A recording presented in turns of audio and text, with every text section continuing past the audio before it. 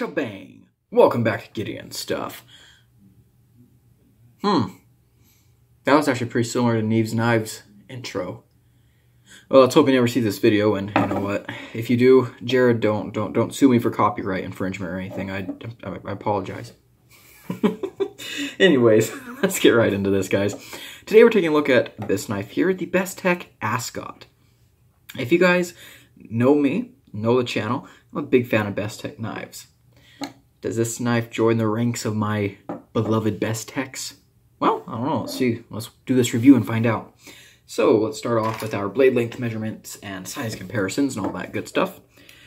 We have a blade length of, ooh, ooh, a little tiny bit over four inches. This is not a particularly small knife. In fact, you can see here, I'm struggling to keep it all in frame for size comparisons, but there we go. So yeah, definitely a big boy knife.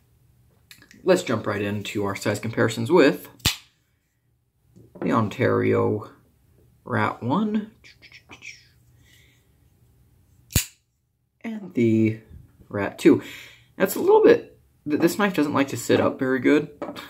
Maybe I'll get like a piece of, yeah, I've got a little piece of plastic. Let's see if this will be enough to keep him up. Nope.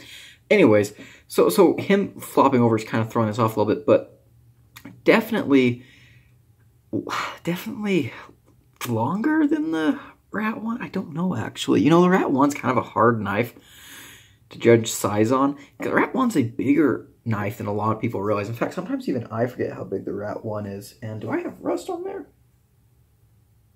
I do. I actually took this guy out on a camp, on a hiking trip with me just a little bit ago. Use him to cut some food. Guess I didn't clean him good enough. So let's show that rust. Yeah, see, it got a little tiny bit of rust right in there. And a little bit up by the thumb studs too, I think, or is that just gunk? Ah, can't tell. Anyways, not important. This video is not about you, Rat One. Get out of here. Slowing things down. Okay, next up, let's bring out our Civivis. There's the Praxis. And here's the Elementum.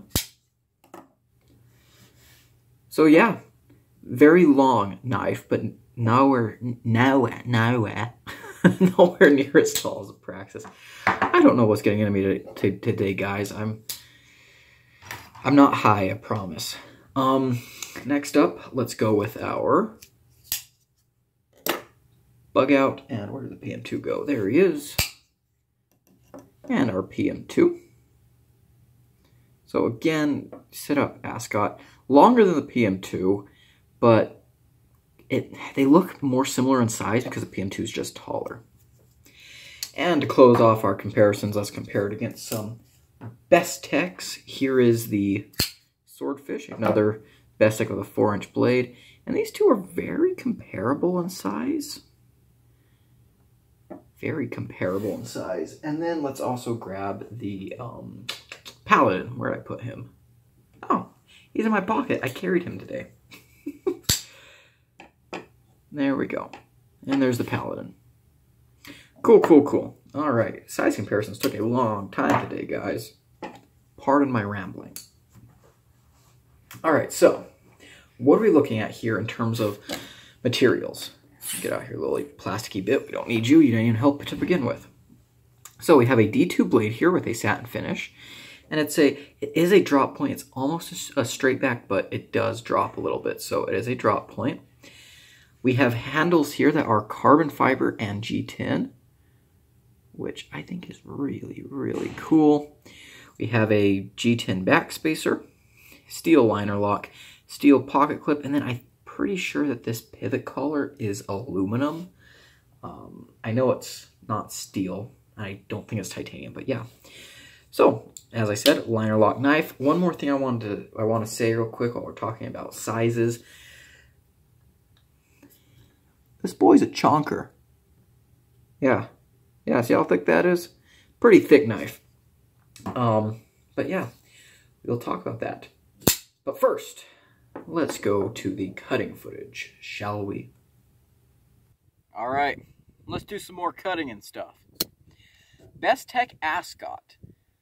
A hard-use tactical knife pretending to be a gents carry? Maybe so. How are those ergos? Um, they're comfortable. The knife is pretty fat and it's nicely contoured so you get that comfortable feeling. The clip basically disappears in your hand. The jimping up here is not very functional, but it's a comfortable knife. Wouldn't say it's ergonomic, comfortable, very comfortable. How's the action?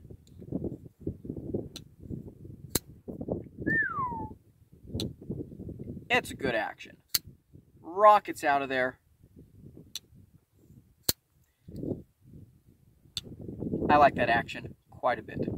Uh, how's it carry? Well, let's get into that. So again, it's a fat knife. The clip isn't anything exciting. I wish they'd put a different clip on here actually.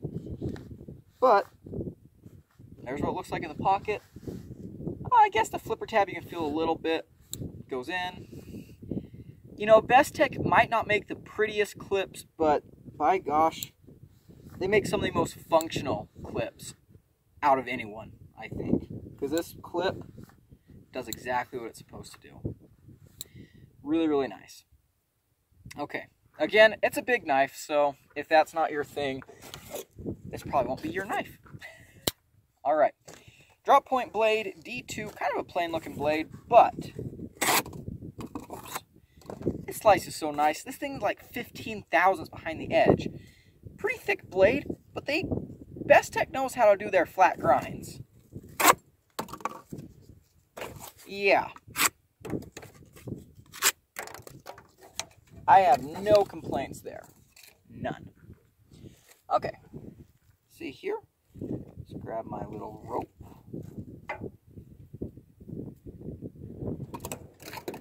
Oh no, my cutting thing went away. Okay, pretty good little pull through. Let's get down here.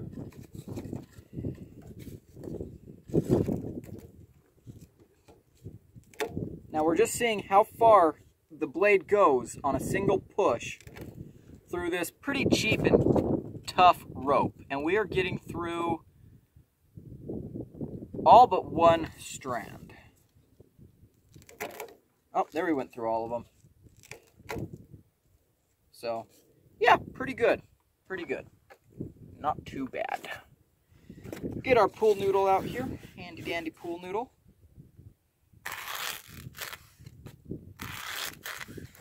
Ooh, let's see how thin we can get this. Yeah, for such a big, thick blade, that's not bad. Not bad at all. Let's get back to the table. Alrighty. Let's get into it with the Bestech Ascot. So, what am I liking? What am I not liking?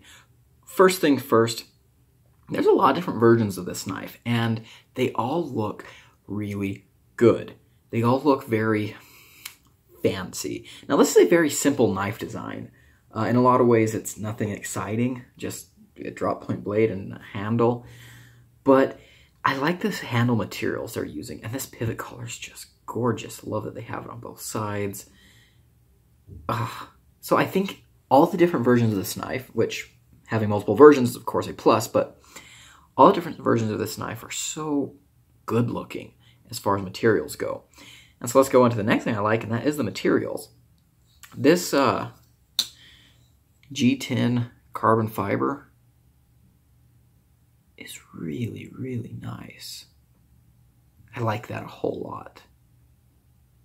Very, very fancy, but also very functional. I mean, it's not like grippy like on a Spyderco, uh, Spyderco's G10, but it has some texture.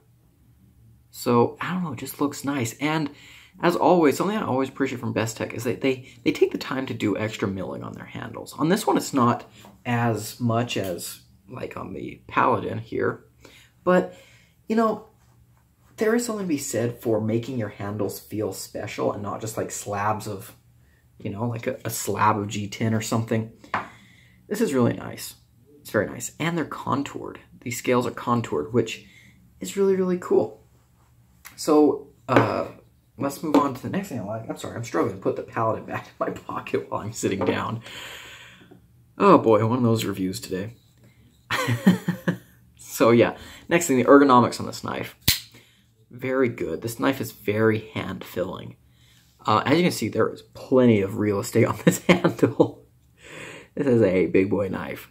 Plenty of real estate on this handle. It's a very comfortable knife. The, the way it's contoured just fills a hand really nicely. The jimping up here is absolutely not functional jimping. Like, it's very smooth, but it's comfortable. Like it, it tells your thumb where to rest and it's comfortable and it feels good, but it's not like, you know, locking you in, jimping. But yeah, the knife overall just feels very comfortable in hand. No real hot spots. The clip just disappears. Really, really cool. Next thing, this action is amazing. So you have a pretty small flipper tab there, but it's situated in a good spot, has good jimping, and this knife just fires. Nice close. Very smooth. Really, really great detent. Let's listen to this.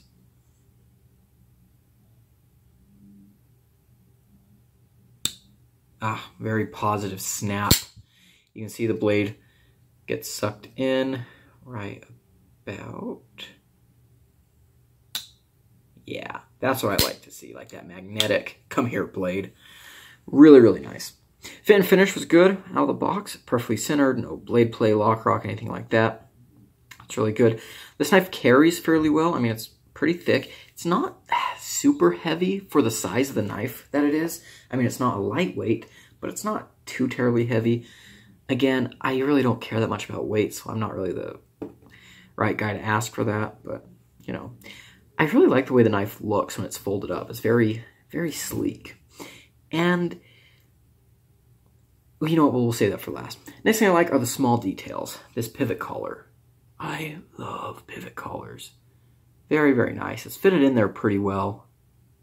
Got kind of a big gap right here. Fit in there pretty well. Very shiny. Looks really, really good. Um, I love the blade folds up into the handle. I love the flipper tab. I love that has a, I mean, this is technically an external stop pin since it's part of the blade. But there we go. Very solid lockup. Really solid knife overall, actually. The blade is D2, and it performs perfectly well. I don't have a problem with D2.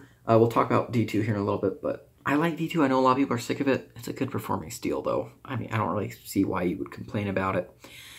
Um, unless you live in an area where you're likely to get rust on your knife, then you might want to take care of this, especially since it's this satiny grind, satiny finish.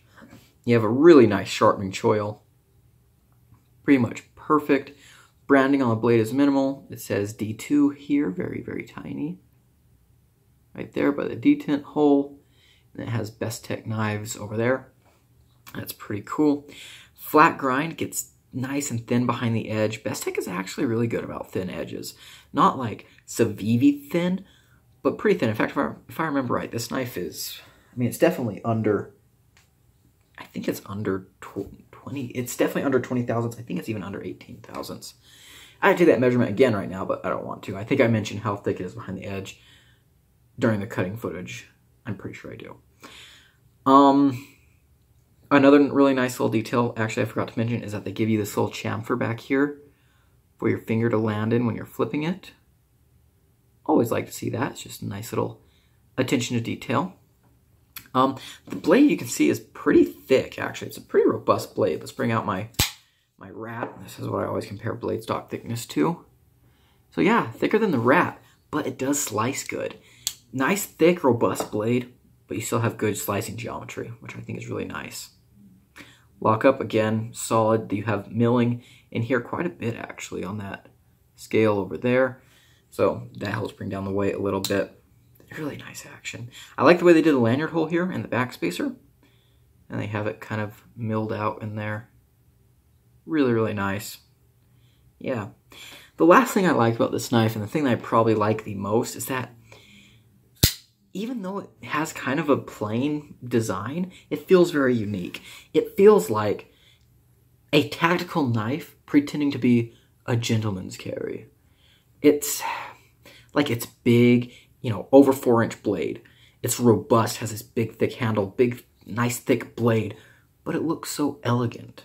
And it has kind of that gentleman gentlemanly, you know, like blade almost completely disappearing into the handle. It has the nice fancy pops of color and the interesting handle material. I don't know, it's like, it's elegant, but also kind of a beast. And I think that's fantastic. I think that is fantastic. Um, yeah, oh, another thing to mention, access to the lock bar is really good. As you can see there, they have a scoop here and then you have a chamfer. They're on the lock bar. It's good, easy to get it, get to. But yeah, this knife just feels so interesting, and I like that. I like that. A whole bunch. Really cool. Ah, that action's fantastic. Mm, okay, all right. Let's go ahead and get into what I don't like so much.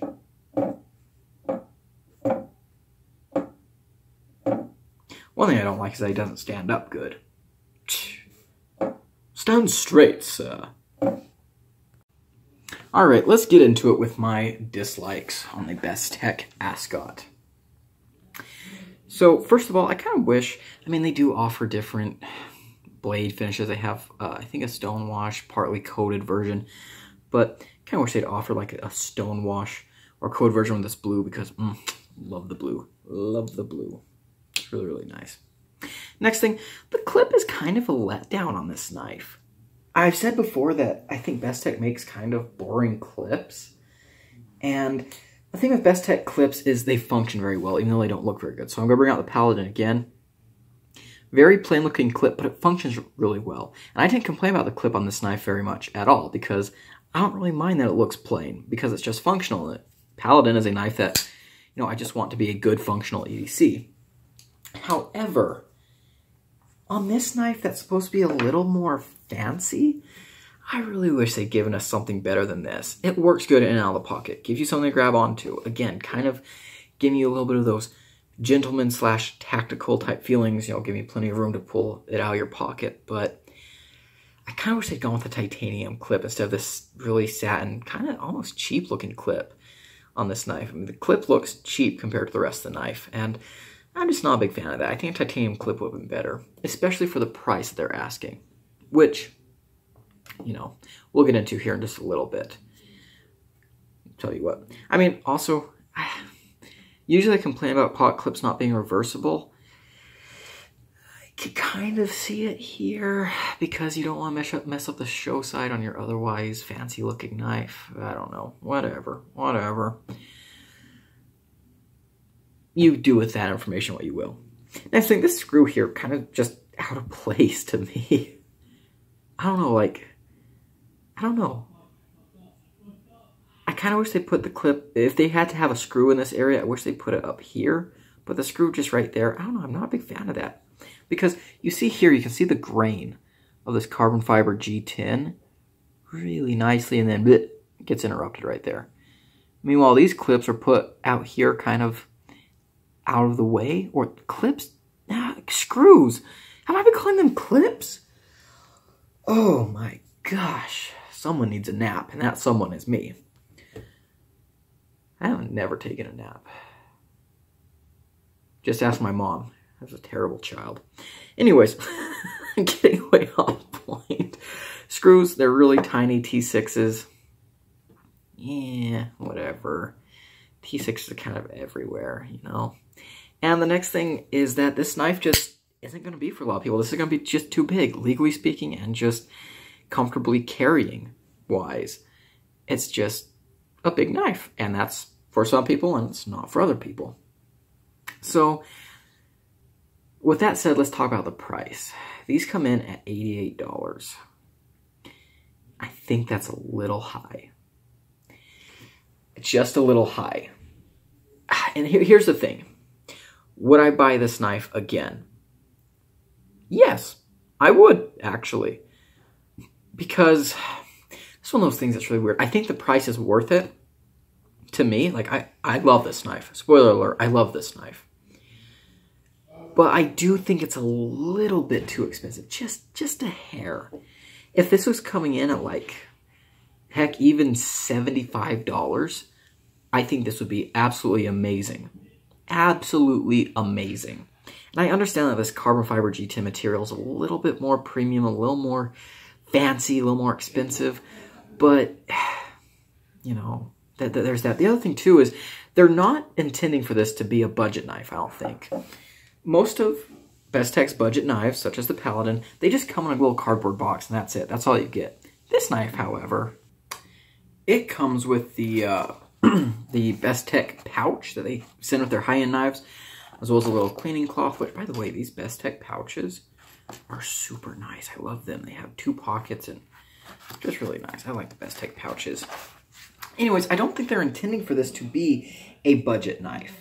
It, it's kind of a, a mid-grade knife, which is what the price is. How do I... Here's what I'm thinking. I wish they had 154 cm on this blade. Again, I, I I'm a D2 fan, and D2 is a great steel. It really is, and I don't really have a problem with it here. D2 used to be a super steel, but I feel like for the for the sake of appearances, I guess, for lack of a better word, if they move this to 154 cm, even if it bumped the price on this up to, I don't know, 100 bucks, at that point, I feel like the Ascot would be a very popular model. But yeah, the price is kind of a meh area for me right now. So let's get into my final conclusions. And my final conclusions is that this is a really awesome knife. Yes, the design is kind of boring. I guess I could put that in the negative. Like, if you just saw the silhouette, nothing exciting. But I feel like there's a lot of things, other things about this knife that make it a little more exciting.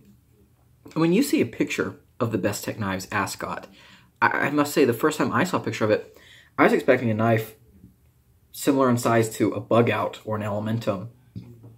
Excuse me. And then I read the specs. I was like, oh, that's a, that's a big knife.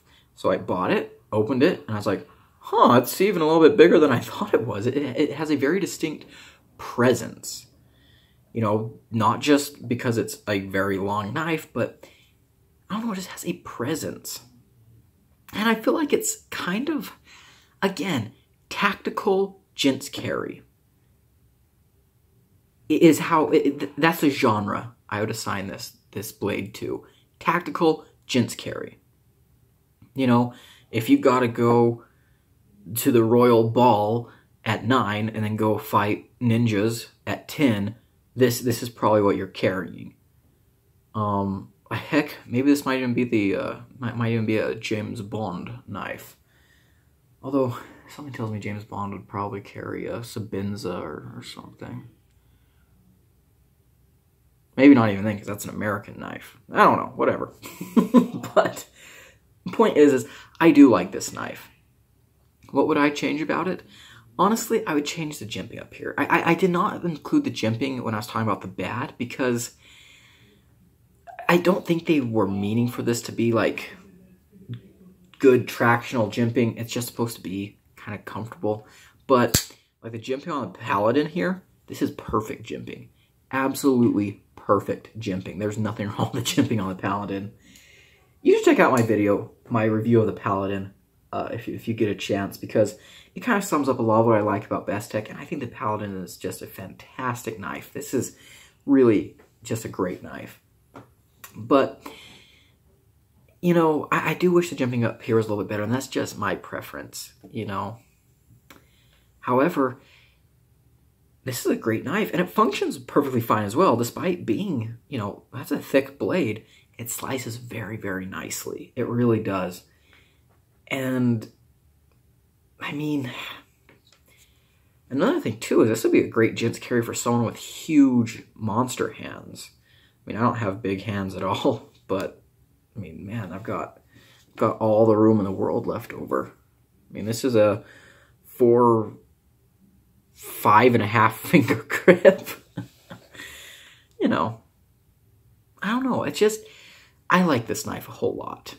I really do. And if you like it, I'm sure you can find a variation that fits you. They have the blacked out, they have like a, you know, carbon fiber with black G10 carbon fiber with green G10, red G10, I think. They have some wood. They have like a, some that have a, like a carbon fiber bolster and wood handle. It looks so good. But it's a good knife. It really is. And I understand it's not going to be for everyone because it is big. But if you don't mind carrying a bigger knife, I think you'll really enjoy this. Um, I actually carried this to Austin's wedding. If you remember when Austin got married, I'm, I'm not sure if you guys remember that, but Austin, you, if you remember Austin, he's been on the channel a few times. He got married a while ago, and I, I was his best man. And I carried this to his wedding um, because it's a good looking knife. It's a good looking knife. And yeah. Anyways, I think I'm just starting to ramble. Um, yeah, there's the Bestech Ascot. Thank you guys for watching. If you liked the video, leave it a like, comment below, and subscribe. And will you please stand up? Hey, you know what? We can just do this. there we go. I've been Gideon. I'll see you in the next one. Bye now.